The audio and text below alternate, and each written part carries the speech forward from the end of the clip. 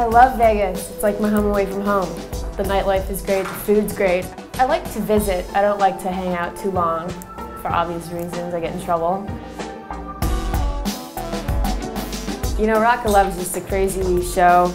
I was a casting director for VH1 and she called me and she said, it's kind of like The Bachelor but with a rock star.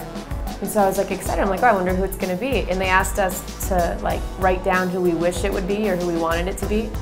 So I wrote down Bret Michaels. It turned out it was him, so that was pretty cool. But then once I got there, it was like craziness, just like a madhouse. I wasn't expecting really anything. They were so vague about everything. Like they didn't give us any agenda or schedule. They just kind of basically threw us in a house, gave us a ton of alcohol, and everybody was fighting and crying and yelling and screaming.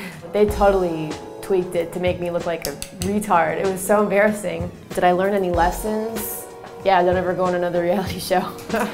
That's a lesson, I think.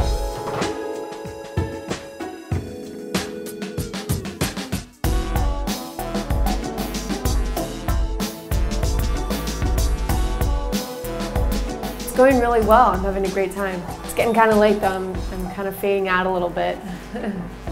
I hope you enjoy watching. Thanks for watching too.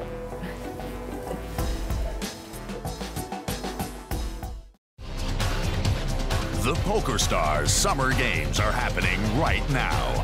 Eight different poker games from five card draw to Texas Hold'em with 1,000 cash winners every day. And the chance to represent the USA against Team Canada for $100,000.